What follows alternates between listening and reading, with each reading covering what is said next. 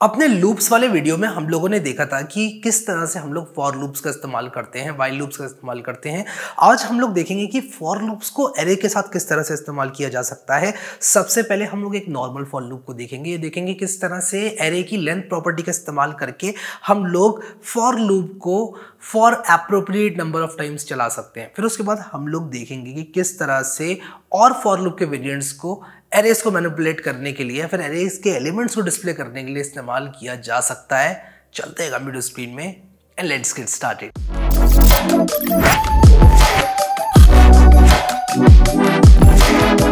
looping की बात करेंगे, इस वीडियो के अंदर arrays can be loop through using classical JavaScript for loop और through some methods discuss below ठीक है तो कुछ कमेंट्स आ रहे थे कि यार रैपलेट में आप रैपल बनाते हुए दिखा नहीं रहे हो तो मैं आपको रैपल बना के भी दिखा देता हूँ। यार सिंपल है। मैं बस स्किप कर रहा था ताकि आप लोगों को, आप लोग का टाइम बचे थोड़ा सा ठीक है? बट इतना भी टाइम नहीं बचेगा तो ठीक है, चलेगा यार, ठीक है एरे लूप्स ठीक है? तो यहाँ पर मैं क्रिएट रैपल पर क्लिक करूँगा और रैपल बन जाती है, बहुत सिंपल है, ठीक है? तो एरेस को आप लोग लूप थ्रू कर सकते हो, एक क्लासिकल फॉर लूप की सहायता से। क्लासिकल फॉर लूप जब मैं कहता हूँ तो मेरे कहने का क्या मतलब होता है? मान लो यहाँ पर मैंने लिखा नम इज़ इक्वल टू मान लो three fifty four one two और फोर ठीक है? ये मैंने किया, ठीक है? अब मैं क्या करूँगा? यहाँ पर लिखूँगा एक फॉर लूप मैं लिखूँगा फॉर और मैं लिखूँगा let i is equal to zero ठीक है? Let i is equal to zero मैं लिखूँगा। और लिखूँगा आई यहाँ पर सेमी कॉलन लगता है, याद रखना आप लोग i is less than num dot length ठीक है? और आई प्लस प्लस ठीक है? अब देखो, मेरी बात थोड़ी सी अजीब सी लगेगी आप में से कई लोगों को बट इसको रट लो यार, ठीक है? इसको रट लो, इसको रट लो का मतलब क्या है कि बार बार आपको ना दिमाग ना लगाना पड़े कि नम डॉट लेंथ मुझे लेना चाहिए num dot length plus one लेना चाहिए num dot length minus one लेना चाहिए। इसको रट लो कि भाई ये क्लासिकल फॉर लूप है, भाई ये किसी भी प्रोग्रामिंग लैंग्वेज में आपको चलाना है लूप तो सिमिलर होता है। Let i is equal to zero zero से स्टार्ट करो लेंथ तक जाओ तो क्या होगा? लेस देन लगाओगे तो ये एक्चुअल में लेंथ माइनस वन तक जाएगा। जैसे कि, इस केस में कहाँ तक जाएगा? ये तीन दो पाँच है। ज़ीरो से लेकर चार तक जाएगा, वही हम चाहते हैं, ठीक है? और अगर आप यहाँ पर कंसोल डॉट लॉग और इसके बाद नम आई लगाओगे इस तरह से तो आप एक्सेस कर सकते हो एलिमेंट्स को। सिंपल सी बात है, ठीक है? तो आप लोग यहाँ पर देखो three fifty four one two four आपको प्रिंट होकर मिल चुका है, ठीक है? यही काम थोड़ा और आसानी से किया जा सकता था। अब मान लो कि मैं क्या चाहता हूँ कि हर एरे एलिमेंट के लिए मैं प्रिंट करना चाहता हूँ नम आई मल्टीप्लाई बाय नम आई तो मैं क्या करूँगा? मैं सिंपली एक फॉर ईच लूप चला दूँगा। मैं यहाँ पर लिखूँगा नम डॉट फॉर ईच और हर एरे एलिमेंट के लिए मैं क्या करूँगा? मैं यहाँ पर इसको एलिमेंट लिख देता हूँ। एक फ़ंक्शन चला दूँगा। तो फॉर ईच के अंदर मैंने डाल दिया एक फ़ंक्शन ठीक है? जो कि हर एरे एलिमेंट के लिए चलेगा। और अब मैं यहाँ पर लिख दूँगा console dot log element into element ठीक है? और मैं ये चीज़ करूँगा। तो आप लोग यहाँ पर देखो कि इसका स्क्वायर प्रिंट हुआ, फिर इसका स्क्वायर प्रिंट हुआ वन फोर सिक्सटीन प्रिंट हो गया, ठीक है? इसको मैं पाँच कर दूँ। तो नौ, पच्चीस, एक, चार और सोलह प्रिंट हो जाएगा। ठीक है? आप देख सकते हो। तो इस तरह से हम क्या कर सकते हैं? फौजी लूप चला सकते हैं। बहुत ज़्यादा हेल्प करता है जब हम रिएक्ट ऐप्स बना रहे हैं अपनी। बहुत ज़्यादा हेल्प करता है जब हम लोग बनाते हैं। किसी भी तरह की एक वेब एप्लीकेशन जावास्क्रिप्ट की सहायता से बहुत हेल्प करेगा ये आप लोगों को। ठीक है? तो ये जो है आप लोगों को पता होना चाहिए किस तरह से काम करते हो। मैं यहाँ पर लिख देता हूँ। फॉर ईच लूप ठीक है? ये जावास्क्रिप्ट का हमारा फॉर ईच लूप है, ठीक है? तो ये इस तरह से काम करता है। अब मैं आप लोगों को इससे पहले कि मैप फ़िल्टर रिड्यूस बताऊँ, मैं आप लोगों को एरे का डॉट फ्रॉम और फॉर ऑफ़ और फॉरिन लूप बताना चाहता हूँ, ठीक है?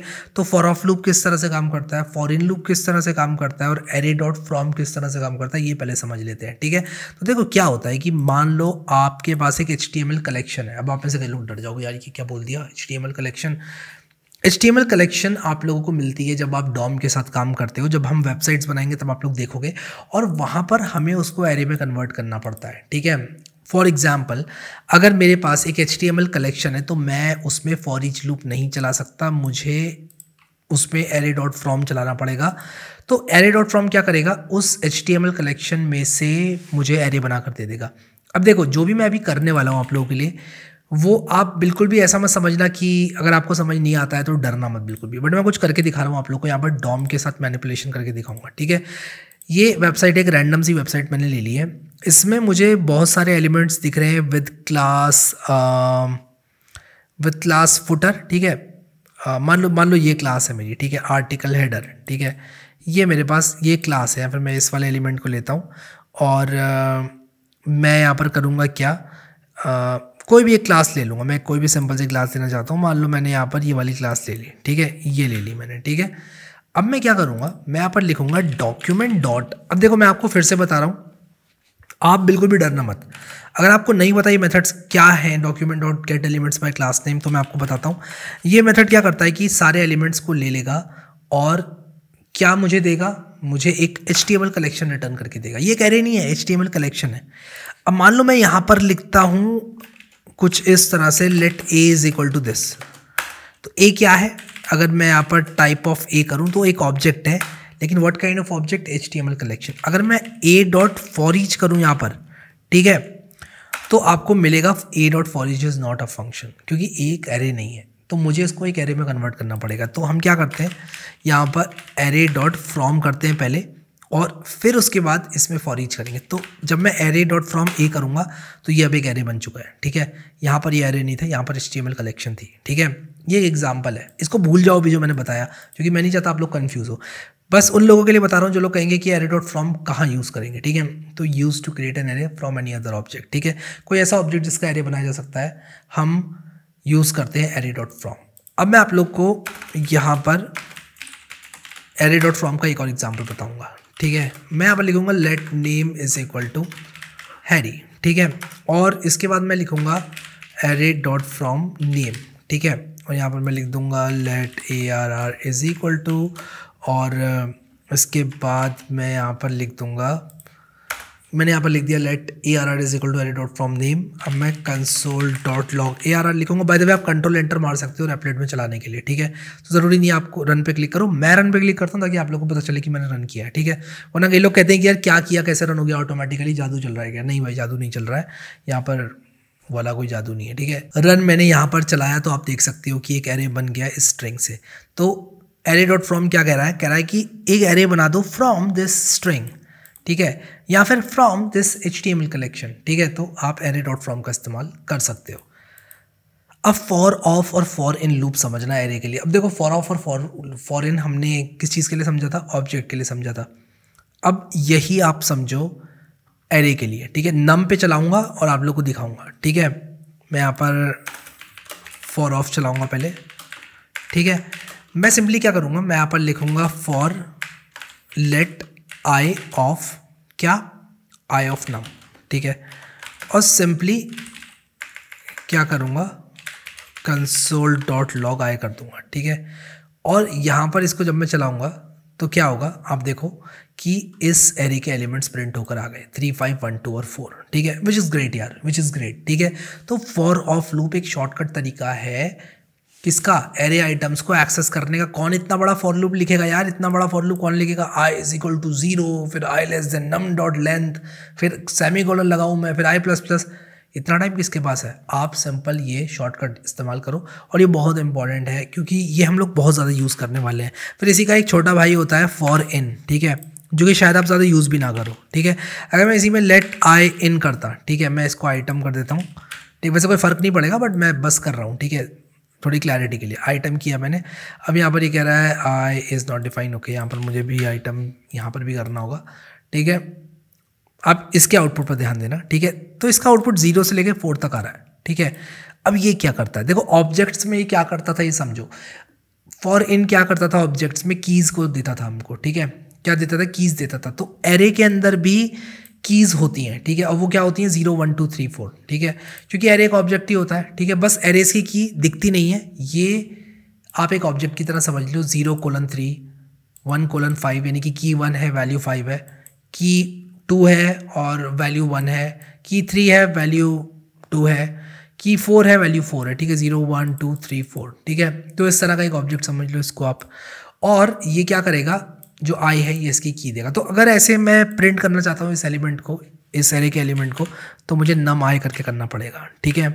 तो ये वाला लूप ज़्यादा कन्वीनियंट है अगर आप लोग एरे के एलिमेंट्स को प्रिंट करना चाहते हो बट फॉर इन भी आपको पता होना चाहिए कि किसी ने अगर चला दिया आपके सामने फॉर इन तब आप ये ना पूछो कि यार ये कैसे हुआ? ये तो मुझे आता ही नहीं है, ठीक है? आई होप कि आप लोग को मज़ा आया और आई होप कि आप लोग समझ गए डॉट फॉर्म कैसे काम करता है फॉर ऑफ़ कैसे काम करता है फॉर इन कैसे काम करता है फॉर ईच कैसे काम करता है और ये वाला लूप ये वाला लूप तो आपको दिखेगा, ठीक है? बहुत ज़्यादा दिखेगा। क्यों? क्योंकि पहले यही लूप इस्तेमाल होता था, ठीक है? पुराने कोड में आपको यही वाला लूप मिलेगा, ठीक है? बहुत सारा कोड जो लिखा गया है लोगों के द्वारा वो पुराना कोड है, पुराना जावास्क्रिप्ट कोड और बहुत सारे लोग प्रेफर करते हैं इस लूप को फॉर सम रीजन ठीक है? तो ये लूप भी अगर आपको कोड बेस में दिखता है, एक ऐसे कोड बेस में दिखता है जिसको आप लोग मेंटेन कर रहे हो तो डोंट गेट सरप्राइज़ आप लोग को अब सारे लूप्स आते हैं। आपको क्लासिकल फॉर लूप आता है, आपको फॉर ऑफ़ आता है फॉर इन आता है एडिट फ्रॉम आपको पता है क्या है फॉर ईच भी आपको पता है क्या है, ठीक है? With that said I hope कि आप लोग को मज़ा आ रहा है। अगले वीडियो में मैं आप लोग को मैप फ़िल्टर और रिड्यूस बताऊँगा, जो कि बहुत ज़्यादा इंपॉर्टेंट है और आप लोग को बिल्कुल समझना चाहिए तो स्टे ट्यून फॉर दैट ठीक है? तो आने वाले वीडियोस में मैप फ़िल्टर रिड्यूस के बारे में करेंगे हम लोग और कुछ प्रैक्टिस क्वेश्चंस भी सॉल्व करेंगे उसके बाद वाले वीडियो में। अगर आपने ये प्लेलिस्ट एक्सेस नहीं करी अभी तक तो यार अभी के अभी इसको बुक मार्क करो, यहाँ क्लिक करके और यहाँ क्लिक करके इसको सेव कर लो। बहुत सारे लोग कह रहे थे कि यार जल्दी जल्दी डालो वीडियोज़ तो देखो यार मैं एक चीज़ यहाँ पर इंश्योर कर रहा हूँ क्वालिटी अगर क्वालिटी नहीं है वीडियोस में, मैं वीडियो दस दिन तक अपलोड नहीं करूँगा but I am going to assure quality क्योंकि मैं इस कोर्स को सिर्फ़ एक बार बनाऊँगा। ऐसा नहीं है कि मैंने ये जावास्क्रिप्ट कोर्स बनाया और उसके बाद मैं दोबारा से बना रहा हूँ कुछ और। मैं चाहता हूँ कि एक अल्टीमेट कोर्स बनाऊँ। मैंने इसका नाम इसीलिए अल्टीमेट जावास्क्रिप्ट कोर्स रखा है कि यार इस कोर्स के अंदर सब कुछ आप लोग को देखने को मिलेगा। आई होप यू अंडरस्टैंड और आई होप कि आप लोग इस बात को समझते हैं कि मुझे अपने रेगुलर शेड्यूल में से टाइम निकाल कर इन वीडियोज़ को बनाना होता है, जिसकी वजह से शायद थोड़ा बहुत लेट हो जाए but I am trying my best to finish it as soon as possible thank you so much guys for watching this video and I will see you next time